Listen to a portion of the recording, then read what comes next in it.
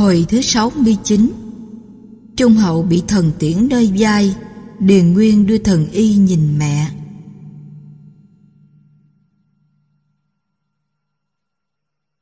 Qua ba ngày rồi, Bạch Liên với Trung hậu còn ngồi nghị sự. Bỗng thấy quân kỳ bài vào tâu rằng, Sở Dương phong cho Do Minh làm chủ soái, Đem binh tới khiêu chiến trước dinh.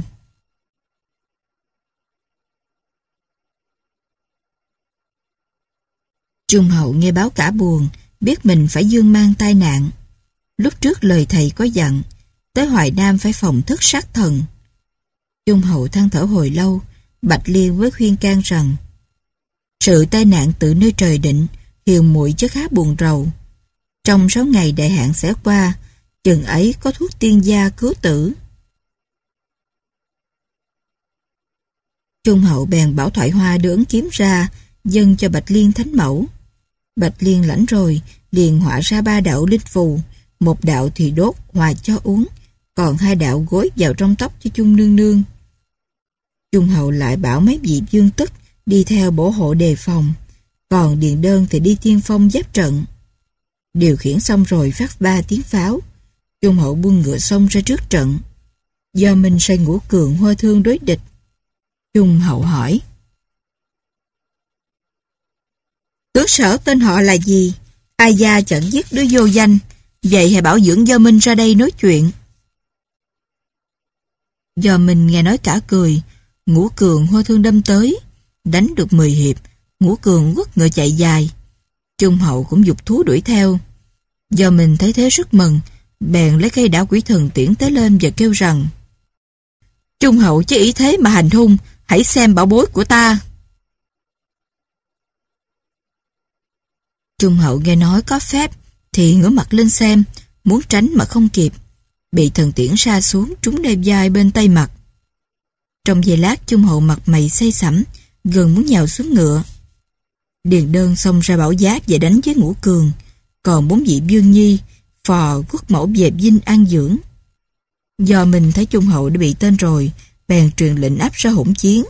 Những là Đông Bình Dương phu nhân là biện độ kim, Tỏ Tần Dương phu nhân là Kim Định, Đông Binh Hầu phu nhân là Huỳnh Anh, Nam Việt Hầu phu nhân là Nhan Tố Trinh, Hoài khánh Hầu phu nhân là Trương Tuyết Bình, Tiểu Nguyên Vương phu nhân là Thiên Hoa Công Chúa, Đại Nguyên Dương là Cát Phi Long, Tiểu Nguyên Dương là Cát Phi Hổ, Trấn Giam Dương là Têu Mân, Tảo Tần Dương là Thân Giang Long, Đông Bình Dương là Liễu Cái, Đông Bình Hầu là Thạch Phụng.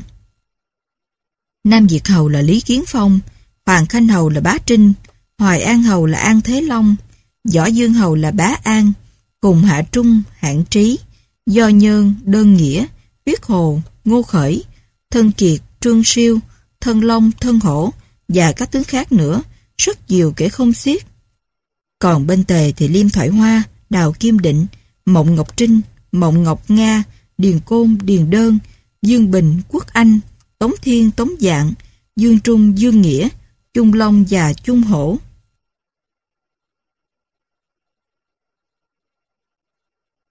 Binh sở tính hết 40 vạn, còn binh tề thì có 10 muôn.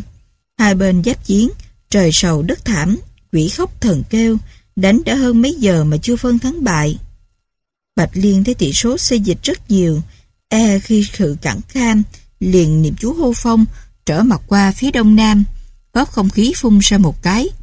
Tức thì gió phía đông nam thổi tới, làm cho cây ngã cát bay, sở binh trắng biển đông tây, cùng nhau ùng mùng bỏ chạy. Trương Thúy Bình thấy vậy liền điểm chú chỉ phong, Mộng Ngọc Nga thấy phá phép nổi sung, tế cây truy hồn chữ lên giữa không trung sáng giới. Rồi kêu sở phụ bảo rằng, hãy xem bảo bối của ta.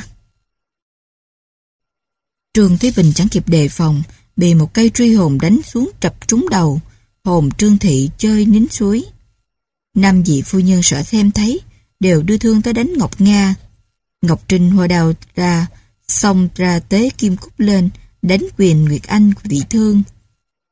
Bốn vị phu nhân kia liền thâu binh đem Nguyệt Anh trở lại. Bạch Tiên lại niệm chú hô phong, binh sợ thấy cơ tở mở. Do mình thấy đánh không lại, bèn Minh Kim thâu quân sĩ về, rồi cùng giao lấy linh đơn điều trị cho Nguyệt Anh và tẩn liệm thi hài trương phu nhân mà an táng. rồi về thành đem các sự tâu qua với sở chúa rằng Vô diệm đã bị thần tiễn, trong bảy ngày sẽ trừ an mối họa. Thánh Dương cảm mừng, bèn sai quan lễ bộ đi phong tặng cho trương thị phu nhân. Nói về Bạch Liên, nghe bên sở minh khiển câu binh, cũng liền truyền lệnh rút quân mình về Dinh An nghỉ. Tuyên Dương ra tiếp rước ân cần, thẳng vào hậu Dinh hỏi thăm Trung Hậu. Đến nơi thấy hai mắt nhắm hiếp, miệng thì không mở ra, mặt xanh như chàm, nằm trên lông sàn mà thiêm thiếp. Còn chỗ vết thương tứ bi máu chảy, mũi tên còn đâm tất ở ngoài. Tuyên Dương xem rồi than khóc kêu trời, không ngờ đem mình đến Hoài Nam mà bỏ mạng. Điền Đơn, Điền Côn và bốn người Dương Tất đều luyện ngọc nhỏ xa, cùng nhau than khóc gian nhà. Bạch Liên khi ấy mới phán qua sâu trước rằng Bệ hạ cho nên than khóc, ấy là tai nạn của nương nương đã tới. Trong sáu ngày mới đặng hội dương, khi ấy có một vị tiên nhân đến cứu mạng. Nghe Bạch Liên nói như vậy, Tuyên Dương cùng nội nhà mới bớt sự sầu bi. Điền đơn khi ấy tâu rằng, lúc con lâm biệt, sư phụ có đưa cho một phong giảng thiếp, dẫn tới Hoài Nam, khi quốc mẫu lâm nạn hãy mở ra. Bây giờ con có đem theo, xin mở xem cho tỏ rứa biết. Nói rồi lấy thư dâng cho Tuyên Dương xem. Tuyên Dương coi thấy hai câu như vậy. Dục cứu nương nương mạng, tạo thỉnh văn khúc tinh.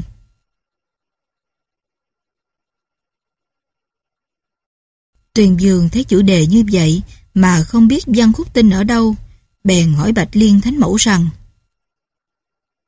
Bây giờ, văn khúc tinh ở đâu? Xin tiên cô phán tỏ.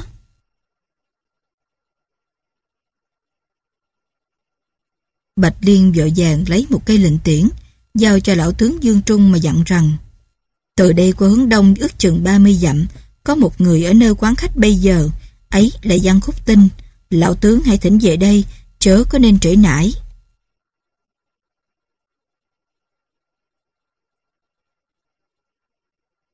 Dương Trung dân lệnh dội giả ra đi. Đây nhắc lại khi Huỳnh Nguyên từ biệt mẫu thân, liền dẫn một đạo binh thẳng tới Du Giang Thành. Đồn trú tại đó, một mình một ngựa trực chỉ hạnh hoa tân. Chẳng bao lâu đã đến khống động sơn, xem thấy hiển quan động hoa cười chim nói, cảnh tú khác thường.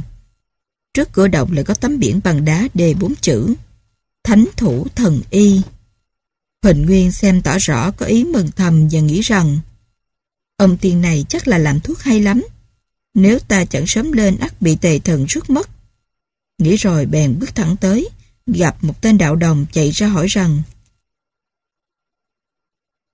Ngươi có phải là Hoài Nam tiểu tướng vì mẹ bị tên quỷ tiễn nên phải tới đây chăng?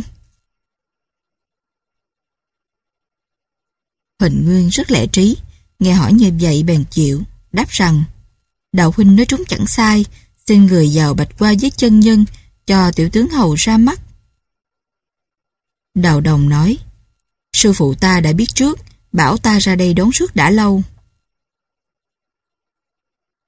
Nói rồi dắt Huỳnh Nguyên vào giữa trung đường mà ra mắt.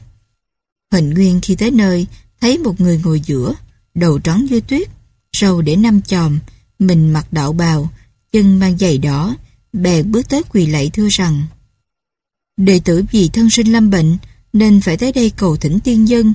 Như mẹ tôi bệnh tật tiêu trừ thì ơn đức ấy xem tày non biển.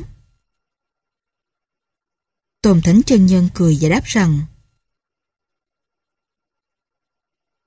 Quý nhân vì Trung Quốc mẫu nên đã chẳng từ lao khổ mà tới đây, lòng trung hiếu đều động tới trời, bần đạo không lẽ từ nan mà chẳng đến. Nói rồi đi thẳng vào thư phòng, viết phong thư để lại và dặn đạo đồng rằng đệ tử hay ở nhà giữ động, nay mai có ai tới hỏi thì sẽ đưa phong thư này. Đạo đồng dân lệnh, tôn thánh chân nhân vội vàng lên lưng cọp đi trước. Huỳnh Nguyên nói gót theo sau, đi chẳng tới bao lâu để về tới soái phủ, vào sau hậu sở trà nước xong rồi đi nghỉ ngơi.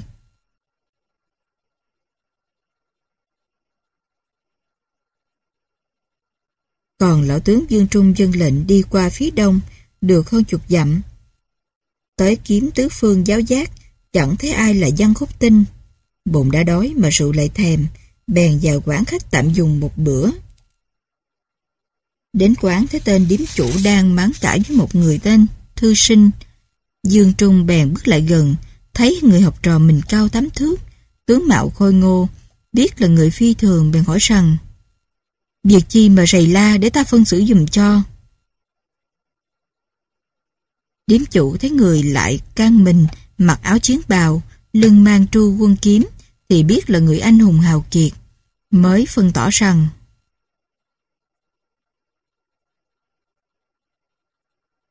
Người này không biết liêm sĩ, ở trong quán tôi đã mấy tháng nay, cơm rượu ăn uống no say, chẳng hề trả một đồng một chữ. Nay tôi mới nói hỏi nó, nó lại gây gỗ tới tôi. Xin quan khách sự đoán cho công, ai phải ai trái cho biết. Dương Trùng mới hỏi tên học trò ấy rằng Người tên họ là chi, vì có nào không trả tiền cơm cho chủ quán. Người học trò rơi lụy mà đáp rằng Tôi tên là Tô Tần, Lạc Dương Thành quê ngụ. Vì cửa nhà nghèo khó nên mới đến nỗi này. Dám thưa quý khách, thọ bé thơ theo Dương Thiện học đạo. Tài Kinh Luân gồm đủ lượt thao, 10 năm công nghiệp đã có dư, một thuở công danh chưa gặp hội. Anh chị tôi nhiều lời rúng rẩy, tức mình lên nương nấu cửa thiền. Người chú thứ ba tôi thấy vậy, cho được ít quan tiền, tôi mới đi chu du liệt quốc. Tôi có nghe nói Trung Hậu là người nhân đất, còn Tuyên Dương cũng là một vị vua hiền.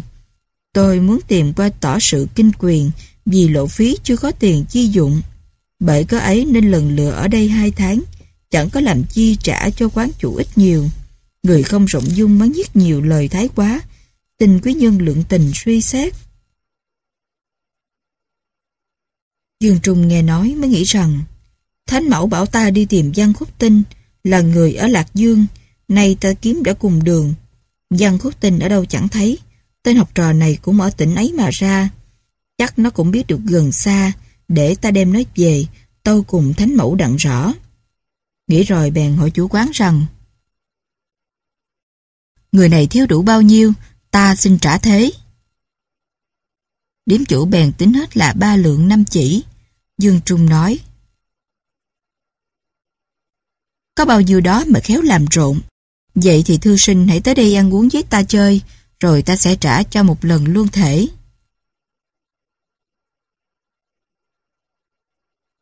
Tô Tần mặt có sắc thẹn, Dương Trung bèn nắm tay lại mời ngồi. Tô Tần hết lòng cảm tạ, Dương Trung nói. Sách có chữ, Tứ Hải giai quynh đệ. Khi đang ăn uống, Tô Tần hỏi rằng Chẳng biết tướng quân tên họ là chi, xin nói cho tiểu sinh sớm biết. Dương Trung đáp Tôi giống người nước Tống, nay quy thuận quật tề, tên gọi là Dương Trung. Nay vì Trung Hậu bị tên đã quỷ thần, tiên cô bèn ra đi rước văn khúc tinh, nên mới tới đây mà không biết đâu tìm kiếm. Tô từng nói, tôi có nghe Dương Do Minh có thứ tên ấy, thiệt là lợi hại vô cùng. Nếu ai bị nó trong 7 ngày ắt là dông mạng, dẫu thần tiên cũng khó cứu cho lành. Nhưng tiểu sinh có một người bạn thân thiết, tên là Biển Thuốc Thần Y, tu hành tại động hiển quang hay chữa được bệnh kỳ nạn tạp quái. Vậy để tiểu sinh xin theo tướng quân trở về tâu lại, rồi tôi xin đi rước người đạo hữu của tôi xuống núi mới cứu khỏi. Dương Trung nghe nói cảm mừng, liền kêu điếm chủ tới tính tiền trả hết. Rồi hai người lên lưng ngựa tuốt thẳng về Tề Dinh. Khi Dương Trung dắt Tô Tần đến cung Dinh, vào phục chỉ cho Tuyên Dương và Thánh Mẫu hay. Thánh Mẫu hỏi, Lão tướng đáp về có kiếm được văn khúc tinh hay chăng? Dương Trung Tàu Tôi tới nơi quán khách, kiếm đã hết sức, gặp một cử tử cũng quê ở Lạc Dương. Y biết tới căn bệnh của nương nương và nói rằng Y có một người bạn thân thiết có thần phương điều trị như chơi, vậy nên tôi có dẫn về theo kiến giá. Không biết có phải là Văn Quốc Tinh là người đó hay không? Bạch Liên nghe nói cảm mừng, tuyên dương liền triệu Tô Tần vào trướng. Tô Tần tới Quỳnh La trướng, quỳ lại tung hô xong rồi, tuyên dương truyền lệnh cho ngồi và nói rằng Trẫm nghe tiếng Tô Sinh đã lâu lắm, trong bụng đầy tứ thế kinh luân, nay gặp đây cũng là hữu hạnh tam sinh, Quả nhân thiệt nên rất mừng rỡ. Mới đây nghe Dương Trung nói tiên sinh có một người đạo hữu, hay chữa được cái tên quỷ gần đã. Lời đó giả hay là chân, xin nói cho quả nhân rõ giới. Tô Tần đứng dậy tâu rằng Tôi có một người anh em bạn, thiên hạ đều gọi là biển thuốc thần y, bất kể là căn bệnh chi, người cũng có thần phương điều trị. Tuyền Dương hỏi, vậy chứ người đó bây giờ ở đâu? Tô Tần Tâu, cách đây ba năm về trước, tôi có đi qua Đức Việt, lúc trở về ngang qua động hiển quang có gặp người, người lại cầm tôi ở đó chơi ít bữa rồi dặn tôi rằng Tới năm nay, ngày này tháng này, tề sở giao binh cấu oán, Trung hậu phải bị cái đạo quỷ thần tiễn của dưỡng do cơ, thì ngô thần phải lên động rước người xuống cứu. Bây giờ từ đây lên đó cũng chẳng bao xa, cách chừng trăm dặm đường. Bạch Liên đã biết rõ, Tuyền Dương cảm mừng rỡ vô cùng. Bèn kêu Tô Tần mà phán rằng Tô Tiên Sinh, trẫm phong cho Khanh Hạc lâm diện thị giảng học sĩ, làm chức tả thừa tướng Tề Triều. Vậy hãy đi cùng lão tướng Dương Trung, tới tiên động thỉnh thần y cho gấp mới được. Quả nhân sẽ ở nhà trông đợi, tiên sinh đừng có trễ nải luống công. Phán rồi, bèn truyền nội thần đem áo mão tề tướng, ban cho Tô Tần. Tô Tần lãnh lấy, tạ ơn thiên tử rồi lui ra. Hai người rửa soạn xong, lên ngựa thẳng dông tới động hiển quan lập tức. Hai người đi chẳng bao lâu đã đến trước cửa động, tên đạo đồng gặp mặt mừng rỡ, hỏi rằng Tô cử tử tới đây có việc chi? Tô Tần đáp Ta đến đây ra mắt đạo huynh vì có việc cần kiếp. Đạo đồng nói Thầy tôi đã đi phương xa rồi, không biết ngày nào người trở về. Lúc ra đi có viết lại một phong thư, dặn tôi ngày nay có ai tới kiếm, thì sẽ đưa ra biết. Đạo đồng nói rồi, bèn dắt Tô Tần về Dương Trung vào động, lấy thư đưa ra. Tô Tần mở xem, thấy có tám câu như vậy. Để lại thư này dặn cố nhân, cùng nhau cách mặt đã ba xuân, Dương Trung bỗng gặp người tri kỷ, thừa tướng Diên Phong chức trụ thần, quốc mẫu bị tên thì dùng mổ, tiểu dương nhỏ tuổi biết gì thân, muốn hay ta ở đâu mà rước, thành huyện Du Giang phải tới gần.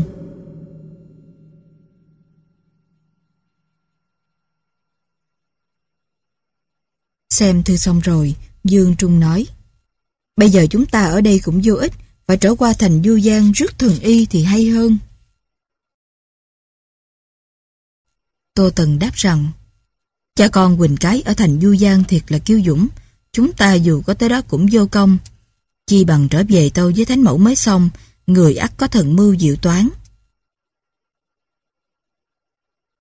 Dương Trung không nghe lời, Cứ một hai đồi đi tới Du Giang cho được. Tô Tần cực chẳng đã cũng phải nghe theo, Cùng nhau tới Du Giang huyện. Nói về Huỳnh Nguyên, Từ khi rất biển thước đem về tới đây hàng ngày dọn tiệp vui dày, còn đêm thì bỏ vào trong nhà tỉnh thất. Ngoài có 500 quân canh giữ, chẳng có thố lộ sự tình. Lúc này đang tả rượu trong dinh, bỗng thấy quân kỳ bài chạy vào phi báo, có một viên tề lướng, xưng thành tới đây rước thần y, còn đang thảo chiến ngoài thành, xin tiên phong phát binh cự địch. Huỳnh Nguyên nghe báo cả cười, bèn truyền quân giữ gìn biển thước cho cẩn thận rồi cầm chùy lên ngựa, mở cửa thành xông ra. Trong lúc này, Huỳnh cái bận việc nhà, nên không hay việc gì hết. Huy Huỳnh Nguyên ra ngựa, thấy Dương Trung tuổi tác đã già, bèn hỏi rằng Tướng Tề tên họ là gì? Dương Trung đáp Ta là Tề Quốc, Dương Trung lão tướng, tới đây đi rước thần y, vậy chứ cháu tên họ là chi, hãy nói đi cho ông biết. Huỳnh Nguyên đáp Ta là sở thành dương giá hạ, chức tiên phong, danh gọi là Huỳnh Nguyên, bốn biển đều nghe tên, ông hãy về đi kẻo chết. Dương Trung nói, thằng nhỏ đừng nói phách, ta có giết mày cũng nhơ danh, hãy đưa biển thuốc ra đây, bằng không thì chớ trách. Huỳnh Nguyên nghe nói cả giận, hô chì tới đến Dương Trung. Dương Trung cũng đưa thương ra đỡ, đánh nhau chưa đầy hai chục hiệp. Dương Trung đứa sức bị trúng một chùy nơi bắp đùi, tức thì nhào lăn xuống ngựa. Quân sở ra bắt trói đem về dinh. Tô Tần thấy vậy thất kinh, quầy người chạy bay như gió. Về đến dinh tề tâu tỏ rõ ràng. Dương Trung đã bị tướng sở bắt, mà thần Y cũng bị người ta rước mất rồi. Tuyên Dương nghe nói hỡi ôi, than rằng Ngựa thê tánh mạng phen này ắt khó nổi. Bạch Liên Tâu Thần Y tuy là bị Huỳnh Nguyên rước mất, mà về sau cũng đem tới đây. Xin bệ hạ chớ ưu sầu mà hao tổn tinh thần. Tuyên Dương nói, Nay ngựa thê đã bị thương ba bữa, Nếu chẳng có thầy ắt hồn phải xuống suối vàng, Bây giờ phải sai tướng tế du giang công phá, Rước thần y cho đặng mới xong Bạch Liên y lời, Điền Côn bước ra lãnh mệnh, Kế đó lại thấy vợ chồng Điền Đơn cũng sinh ra đi nữa Bạch Liên nói một mình Điền Côn cũng đủ Đi nhiều có khi trở ngại quân cơ. Đôi ba ngày đó hay đợi chờ Rồi ta sẽ đi cho ứng tiếp. Khi Điền Côn đắc lệnh Liền cầm thương lên ngựa Dẫn theo tám viên phó tướng Và ba ngàn binh thẳng tới Du Giang Sai quân tới trước thành khiêu chiến. Còn Huỳnh Nguyên khi bắt đặng Dương Trung, bèn thâu binh về thành. quan truy huyện ở thành ấy là Châu Dân, liền dọn tiệc hạ công. Đang khi hai người ngồi ăn uống, bỗng thấy quân kỳ bài và báo rằng có tướng tề ở Bắc Môn tới khiêu chiến, nên chúng tôi phải vào thưa lại cho tiên phong hay.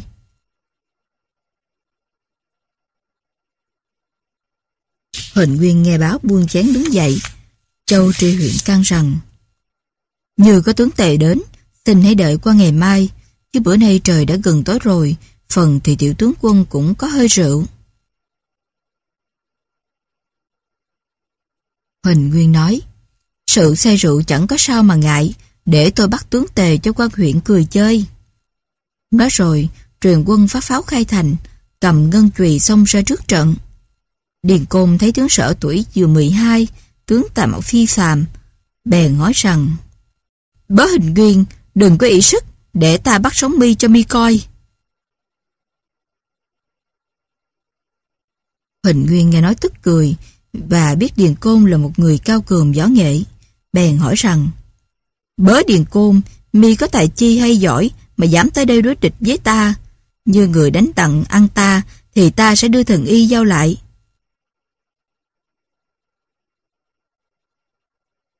Bằng người liệu bề địch với ta không nổi, thì đi về đừng có đánh làm chi cho mệt sức. Điền Côn nghe nói, nổi giận, liền dục ngựa đưa ngân thương đâm tới. Huỳnh Nguyên cũng đưa chùy ra ngăn đỡ, trốn xa trường anh em đánh lộn, thiệt như cọp với rồng gặp hội mưa mây.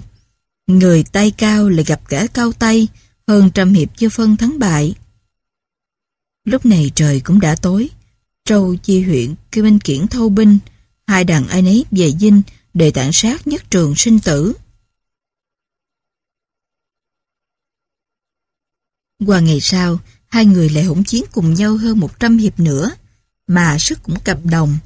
Điền Côn mới sinh ra một kế, đâm bậy một thương bỏ chạy. Huỳnh Viên thấy vậy cười rằng Tưởng là ta không biết, khéo làm kế dối quân, nếu chẳng đuổi ngươi chẳng ra mặt anh hùng, để ta đuổi theo có làm chi cho biết. Nói rồi quất ngồi rượt theo, Điền Côn xem thấy cảm mừng. Khi nghe lạc ngựa vừa gần, bèn để cây thương xuống, rút cây rươm ra. Huỳnh Nguyên con mắt ngó xa, thấy Điền Côn rút gươm ra, bèn quay ngựa hoi chùy đứng lại. Điền Côn thấy Huỳnh Nguyên không đuổi, thì quầy người lại hỗn chiến với nhau. Đánh suốt một ngày trời, ai làng cũng chưa phân cao thấp. Kể thấy bóng mặt trời đã khuất, ai lùi về dinh nghỉ nơi. Khi Huỳnh Nguyên về tới dinh, Châu Tri huyện dợt tiệp vui mừng, rồi thương nghị với nhau rằng Điền Côn thiệt là tay lợi hại, nếu dùng sức mà đánh không xong, vậy phải dùng kế bắt nó đi cho rồi, còn ai đâu nữa đến đòi thần y biển thước. Ăn uống xong xuôi, Huỳnh Nguyên bèn kêu Triệu Thắng, Triệu Năng mà bảo rằng anh em tướng quân phải đem một ngàn quân cung tiễn đi mai phục nơi xích Tòng Lâm, chờ ta trá bại dẫn Điền Côn đến nơi, hai tướng truyền quân bắn xối ra, chẳng nên trái lệnh. Hai tướng dâng lời, Quỳnh Nguyên lại kêu Ngụy Ninh mà bảo rằng còn phần tướng quân cũng dẫn một ngàn sĩ tốt, đi qua hướng Nam, truyền quân đào lỗ xuống cho sâu, trên mặt đất trải những đồ cây lá, còn dưới hầm thì để câu mốc và dăng dây, hệ thấy diện côn bị thương chạy qua, khi thấy hắn xa xuống đó, rồi đùa quân sẽ bắt trói lại. Ngụy Ninh dân lệnh, Huỳnh Nguyên lại sai Lỗ Tinh, Lỗ Nguyệt dẫn 5.000 quân đao phủ đi mai phục phía Bắc Môn và dặn rằng Trần thấy Điền Côn đuổi ta qua phía Bắc xích Tòng Lâm, hai tướng đụ binh tới đó thiêu dinh trại. Hai tướng đều y như kế lui ra Huỳnh Nguyên mới trở vào an nghỉ. Nói về Điền Côn đánh với Huỳnh Nguyên đã hai ngày mà không định hơn thua, lòng càng nóng nảy. Lo gì không sức được thần y thế cứu, ắt mẫu hoàng tánh mạng chẳng còn. Đêm nằm than nở ỉ non, trong trời mau sáng đặng ra đối địch nữa. Phút chốc đầu cây năm đã tới, bèn truyền quân cơm nước xong rồi kéo tới dưới thành. Hiến quân kêu họ tên Huỳnh Nguyên mà bảo mau ra trận chiến cự địch. Quân kỳ bài chạy vào thông báo, Huỳnh Quyên cũng truyền quân phát pháo xông ra. Hai người gặp mặt nhau, hầm hầm như cọp, kẻ chuyện người thương hỗn chiến nhất trường, đánh hơn trăm hiệp. Huỳnh Nguyên giả làm bộ đuối sức, bèn quay người bỏ chạy qua phía đông nam. Điền Côn bất ý hậu cơ, dục người đuổi theo bén gót. Huỳnh Nguyên thấy Điền Côn đuổi theo thì cảm mừng, bèn bay ngựa chạy miết vào rừng. Điền Côn theo vừa tới nửa chừng, phục binh bốn phía ảo ra bắn như mưa bất. Điền Côn hoa thương dục ngựa bỏ chạy qua hướng nam, chạy vừa được nửa dặm, bỗng nghe tiếng pháo nổ, ba ngàn binh dịch tám viên thiên tướng đều bị sa hầm. Điền Côn vội vã rút cương ra, cắt đứt dây câu liêm, và cũng thời may, nhờ có lông câu hí lên một tiếng, bèn nhảy bổng lên đạn khỏi hầm, rồi quất ngựa chạy qua hướng Bắc. Ngó về Vinh thì thấy lửa đỏ hường trời, phục binh theo đuổi tới nơi, Điền Côn bị một mũi tên trúng sau lưng xa xuống ngựa. Lúc đó, Bình bên tướng tề đã bị bắt hết, còn Điền Côn thì chạy lạc vào rừng. Tai nghe trống đã thâu không, mới xuống ngựa đứng một mình than thở. Cởi nhung bào nhỏ tên độc, trời đã tối lại không biết đường ra. Một mình suy nghĩ gần xa, muốn tự giận mà đền ơn tri ngộ. Bèn tưởng tới nghĩa vua tôi, tình chồng vợ, hai hàng thêm lụy ứa xa, mấy thu dư trăm trận song pha, này thức thế thua thần con nít. Chết như vậy cũng là chết tức, nhưng đứng anh hùng há húy tử tham sinh. Một mình than khóc giữa rừng xanh, thời may có người đến cứu. Ở gần đó có tên Khổng Đại, là người văn biết võ hay, vua Sơn ngoạn cảnh hàng ngày, săn thú bắn chim hàng bữa, vừa lúc đuổi theo con thú, rồi tối rồi chưa kịp về nhà. Bỗng nghe tiếng người than khóc xa xa, lần tới liền hỏi qua tâm sự rằng Ai làm gì than khóc, hãy phân tỏ cho ta nghe, vậy chứ ngươi tên họ là gì, việc chi mà tới một mình trong núi. Điền Côn nghe có tiếng kêu hỏi, dưới bóng sao xem tỏ rõ mặt người, tuổi thanh xuân phóng được 30, mặt lọ chảo, mình cao chính thước. Điền Côn mới lau nước mắt mà đáp rằng, ta là người ở Tề Quốc, Đông Lộ Dương tên gọi là Điền Côn. Khổng đại hỏi, có phải là tiết kế nguyên về đầu tề mới được phong cho Điền Tánh chăng? Điền Côn đáp, Khổng đại quỳ xuống thưa rằng, tiểu dân không biết, xin dương gia thứ dung. Điền Côn cầm đứng dậy mà hỏi rằng, tráng sĩ tên họ là chi, hãy nói cho ta biết giới. Khổng đại thưa rằng, tôi là cháu năm đời khổng tử, khổng đại thiệt là tên tôi, nhà tôi cũng ở gần đây, hàng bữa duy theo nghề săn bắn, vì mãi theo thú nên trời tối không hay, lại nghe tiếng người than thở ở đây, nên mới tới tiệm đặng mà than hỏi. Điền Côn rơi lụy và thuật lại các việc cho Khổng Đại nghe. Khổng Đại nói, xin mời viên gia về Thảo Trang tạm nghỉ, sáng ngày tôi sẽ giúp sức với người. Điền Côn nghe nói cảm mừng, liền dắt nhau đi ra khỏi núi. Khổng Đại dẫn đường đi trước, Điền Côn cứ ngựa theo sau. Đi chẳng bao lâu, đã thấy bóng đèn chiếu sáng.